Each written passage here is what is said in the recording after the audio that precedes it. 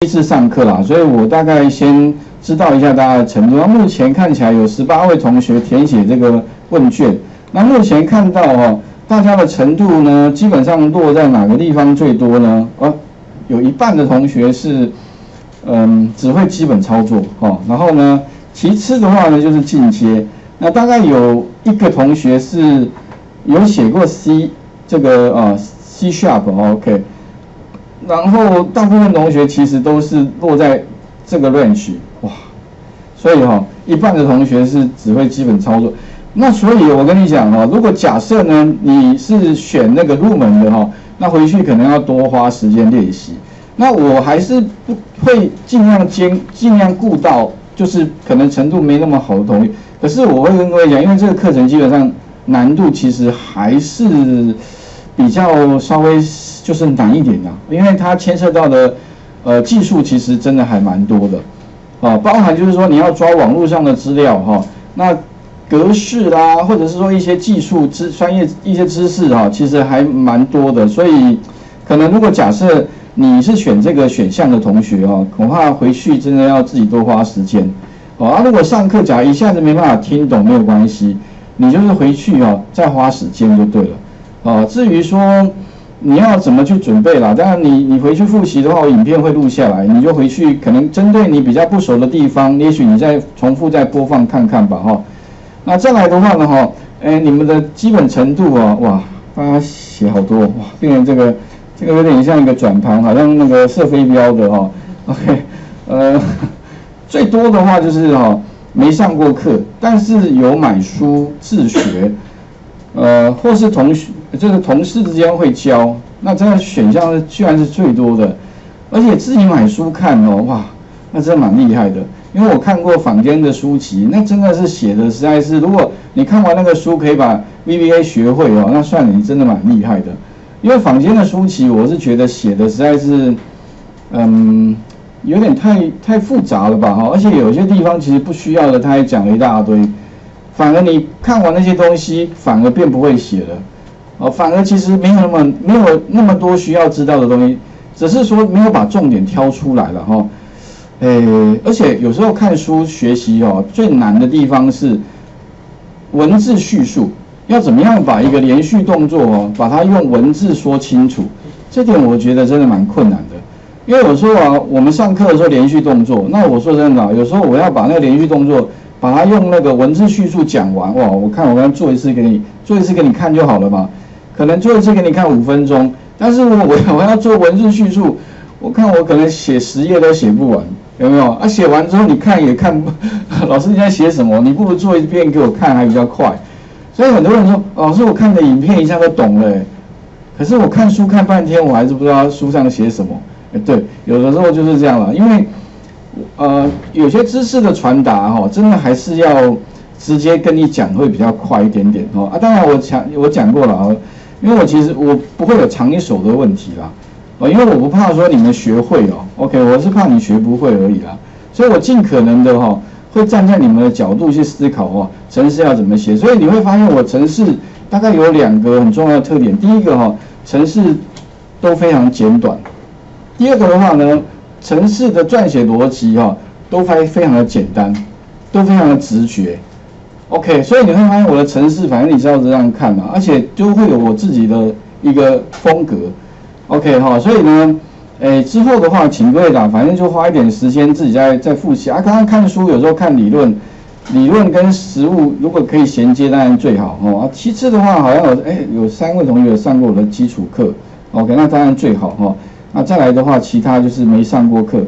但是自己会写 VBA，没上过课，自己会写，哇，那真的蛮厉害，天才。OK，好，所以其他的话还有什么？呃，有上过其他老师的课，哦，然后呃参考其他的，因为网络上其实说真的，这个年代我要学习东西还蛮简单，You YouTube 上面其实一大堆，你随便搜寻一大把。OK，只是说有一个问题啦，就是每个老师教的方法都完全不同，而且你会发现同样的东西啊，不同老师。写出来的程式居然完完全全长得不一样，而且是非常不一样哦，不是不一样而已哦，是完全不一样。说老师是怎么会这样呢？明明不是都一样的东西呀，怎么会差这么多就我刚刚讲的，因为我的城市逻辑啊，是我希望城市越少越好，就是有点像城市最少化。那如果城市最少化的话，第一个了哈，你会发现 我的城市里面完全没有宣告，宣告有没有 DIM 有没有？如果你没有看过 VBA 的书啊，宣告就 DIM 有没有定哈？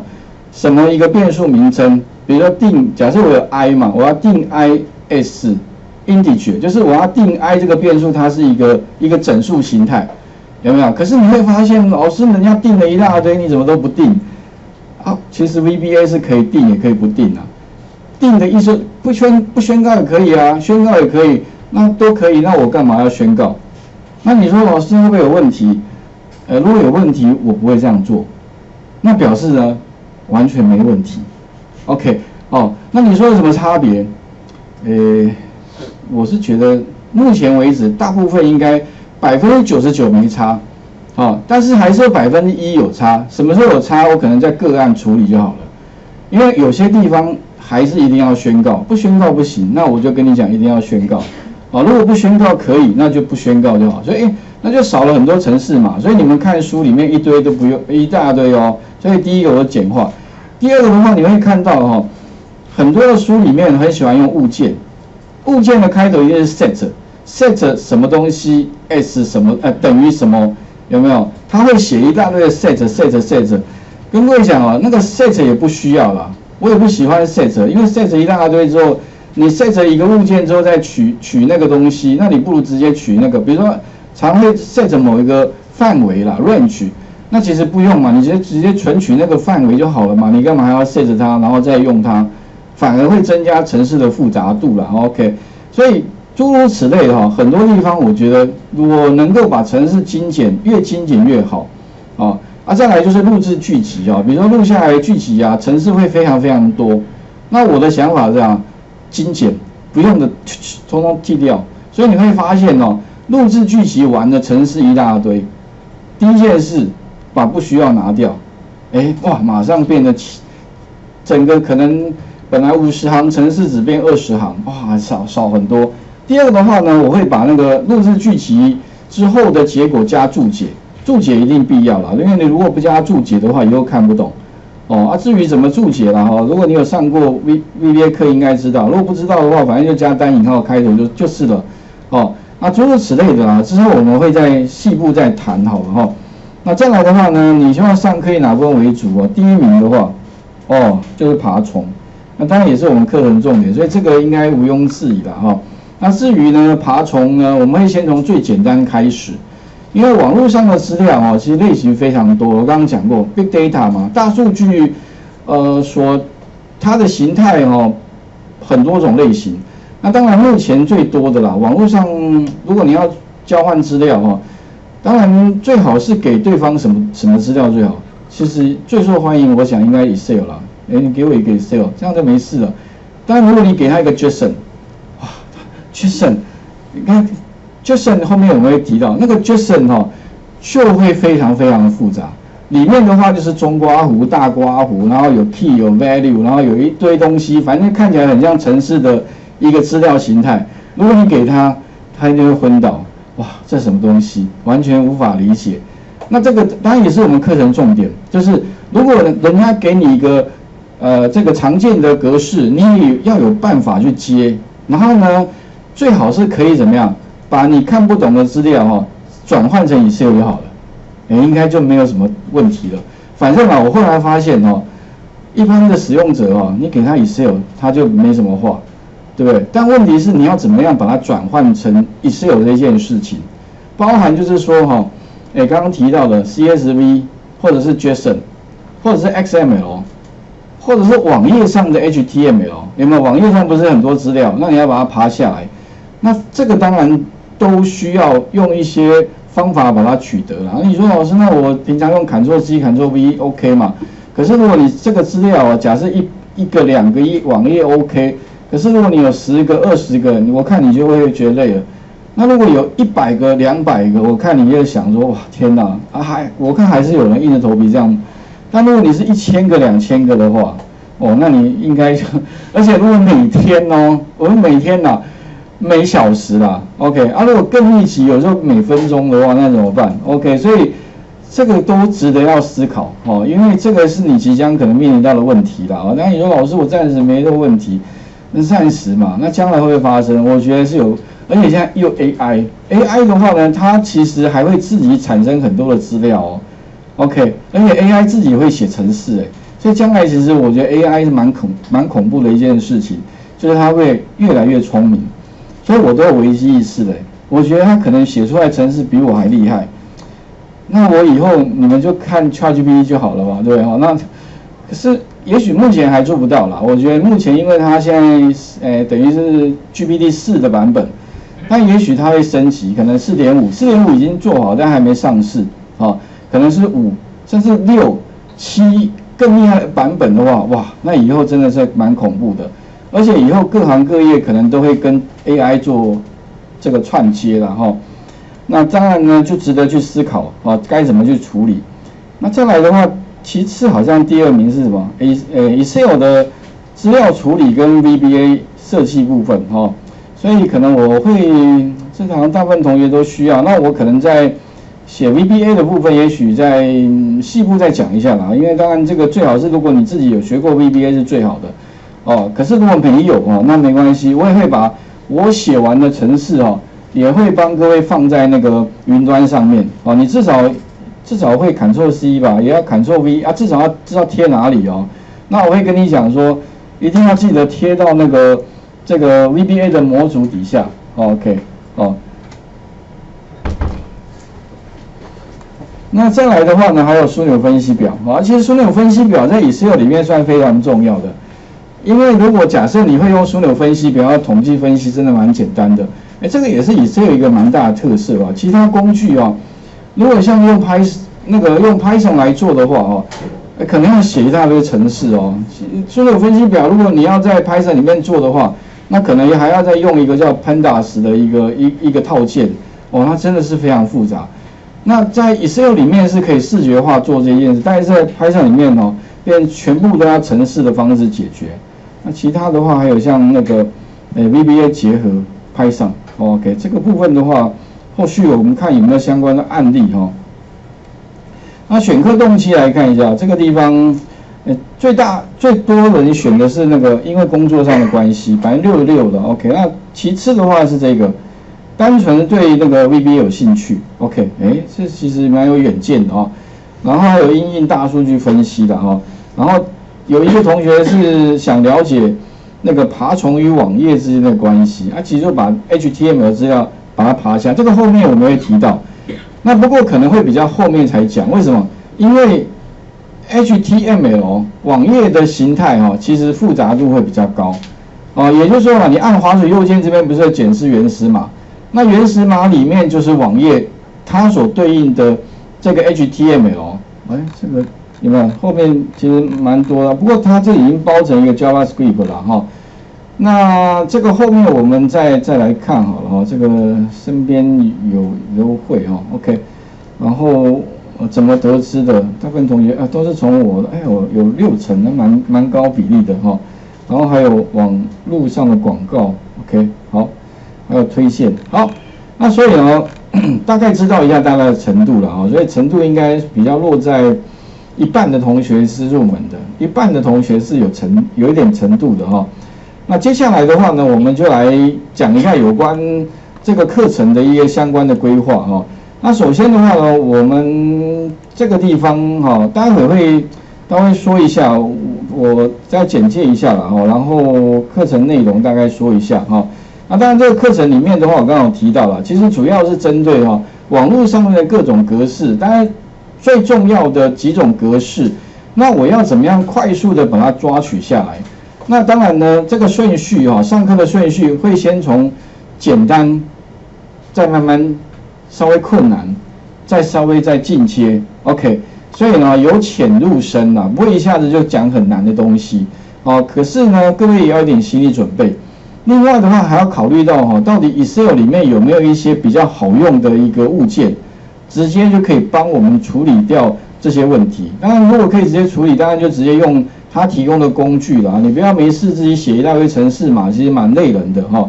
所以大概其实会用到最多的哈，其实前面用最多就是这个这个物件叫 Query Table，哦，哎，这个 Query Table 其实嗯相当的好用，但是这个出来的时间蛮久了，但是它后续有出来新的物件叫那个 Power Query 啊，OK，Power Query 其实如果你们有学过像那个呃 Power BI 的话哈，其实应该知道哦，那。那你说老师为什么你不特别用 Power Power Query 这个物件哦？其实主要原因哦不太好用，OK 哦，复杂度太高了。但如果有需要用到的话，我会讲哦啊，后面我们会再提到怎么去使用的方法。那再来就是说呢，如何把资料抓下来之后啊，那最后呢把它做一个视觉化呈现啊，包含也许就是画一些简单的图，然后画一些组合图等等的，OK 哦。然后底下的话呢，我大概先呃简介啦，因为我网络上面其实还蛮多东西，所以你搜寻一些相关的呃关键字应该很容易，尤其是以 C O V B A 相关的呃这这些关键字哈。那我的影片放蛮多的啦，我在网络上面放的影片数量应该有超过两万个吧。OK，哦，啊两万个怎么来的？其实所以我大概从二零零六年开始有 YouTube 开始哦，我只要上课我就录影。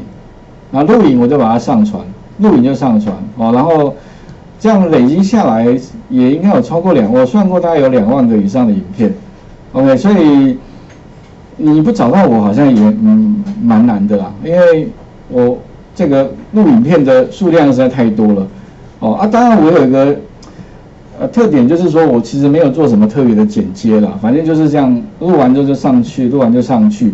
所以你喜欢看你就看，你不喜欢看就算了，OK，好。然后当然我的想法只是说，希望能够帮同学，呃，可以真的学会东西。那当然不怕说你回去，就是之前有很多同学回去不会不懂，然后下一次又来上课又问，每次重复这样，我觉得其实学习没有效率。所以想了个方法，干脆哦直接录影，你自己回去看吧。那你上课听不懂没关系啦，反正你就知道有听了。但是懂不懂没关系，回去再多听几遍。所以之前有蛮多同学说，老师你上课我都听不懂，但是我回去再听第二遍还是不懂，第三遍哎终于懂了。OK，所以他好像要多听几遍，没关系，你爱听几遍。啊，有些同学可能他说听三遍，有的同学可能听五遍，可能有的同学可能听一遍就懂了。那当然你就自己量力而为。所以我觉得学习可能还是要针对你自己个。那当然我就把它记录下来，哦，然后。再来的话呢，其实哦，哎，现在新的科技哦，其实就创造新新的机会了。当然，新的职位也是一样。那当然这边有几个重点啊。不过其实我大家一般就记 A、B、C 就够了。A 就话 AI 嘛，B 就 B Data，C 的话就 Cloud。所以这些东西还有像什么呃呃一些像相关的辨识啦，或像电动车啦，或像 FinTech，那其实你可以发现这些东西哦，全部都指向一个。一个技术就是跟城市有关，因为这些东西所有背后都必须要有人去把这个城市给写出来，否则的话它没办法顺利 work。OK 哦，所以哦，我觉得有太多东西可以做了哈。那我简单介绍一下我自己吧。其实我主要最早其实会有一些课程出来哈，最早其实是在网络上有分享一些影片，然后录一些呃，还有写一些文章。哦，那因为这样关系哈，诶，慢慢就会很多单位邀请我上这个课，像这边也是一样，我开这个课也是因为哈，也是受邀哈，像机械工会他说，哎，能不能找我开相关课程？我想一想，哎，这个可以开，就我跟各位讲的，之前本来我教拍上，我发现拍上是可以拿来爬虫，绝对没问题，但是 Excel 好像更更直接，那不如是直接用 Excel 来做哈，所以才会有这个课程。啊，这个相关资料哈，也许各位自己再看稍微看一下。那我最早是从工程师开始啦，所以最早我认识 VBA 其实也蛮久了，大概也接近，这好像应该差不多也二十多年了。OK 哈，所以我是觉得哈，一个语言反正就工具啦，解决问题。那你说哪一个好，哪个不好？对我来说其实都没有绝对的，反正解决问题最重要。哪怕说我今天哈可能。哎，可以叫混搭吧？有没有？或者叫什么？像那个车子不是有 hybrid 嘛？有没有？有油电混合嘛？啊，我们为什么不能混合嘛？对一呃前面也许用 Python，后面也许用 Excel，可不可以？用 VBA 也可以啊，两个串在一起喂，当然也是可以啊哈。那底下的话，这是相关的哦。当然我有受邀做一些呃一些得奖啊，一些记录啊。当然啊，我有证照大概三十几张了哈。那当然其中的话不乏有 Python 啦，然后有 Power BI 啦等等的哈。然后我的频道的话呢，其实目前啊订阅人数，呃大概已经破四万的，哎应该超过四万的。那我有两个频道，有一个频道在一万多，哦，把它做一个区区隔哈。那相关的这个 VBA 书籍的话，哈，我想你们自己再再去了解啦。那我是建议 VBA 的部分啊，Excel 部分的话，可能至少你要基本上一定要函数很熟。其次的话，可能枢纽分析表可能要蛮熟的。哦，啊，再来的话就是录制剧集，还有 VBA，可能渐进的哈，可以把这些东西学会的。我觉得你在用那个。爬虫的部分呢，应该就会更加得心应手哈。那底下的话，我这边有提到几本书。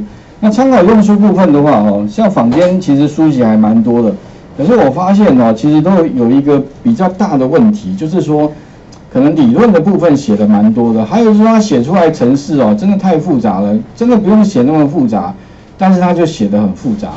哦啊，为什么要写这么复杂？其实也许是学理上是这样做。但是实物上可能你要精简，那至于怎么精简哦，也许你们之后可以多参考一下我的城市啦，或者你可以跟其他的那个呃相关的这个书籍做一个比对哦，这个也许几本参考用书在你们讲义里面应该也有哈。然后课程目标的话，当然哦，主要会有这个课程设计啊，主要当然是希望说你们可以不用特别加班，为什么？因为你事情一下把它程式之后自动化。那就可以很快把它做完的了哈，所以里面大概有几个重点哈，就是进阶的部分，当然至少你要学会怎么样抓网络资料。那抓网络资料的话，你可以用录制剧集，但是也要学会一个修改。其实修改里面包含做加上注解哈，然后再来利用几个重要的物件，像包含就是我刚刚提到这个 create OK，哦，然后还有就是用 IE 直接抓。那也就是说，哈，在 VBA 里面，哈，其实它可以直接呼叫浏览器，它可以只要你的资料可以被放到浏览器里面的话，那自然而然就可以把资料抓下来，是不会有问题的。那如果同样的做法，哦，在 Python 里面，呢，它相对还是比较困难一点点。OK，那其他还有就是说，怎么样把那个枢纽分析表跟枢纽分析图结合进来，而且变成做自动化的处理了，哈。那底下有一些相关的学生的案例啦，其实蛮多可以做的啦，包含就是说统计通膨啦，统计油价啦，统计一些地震啦，或者是呃台这个像捷运的流量啊等等的，或者是那个 COVID-19 的一些统计资料啊，其实学生也做一些练习，那也是把资料。